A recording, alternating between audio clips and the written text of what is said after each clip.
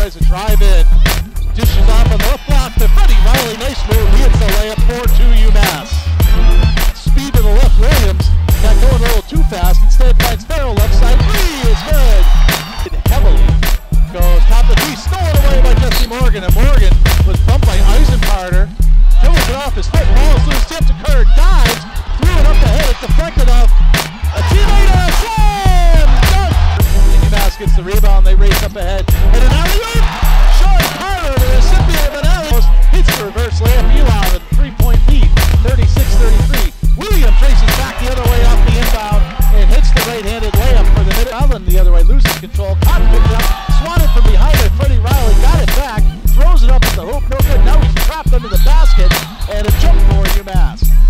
transition. Up there,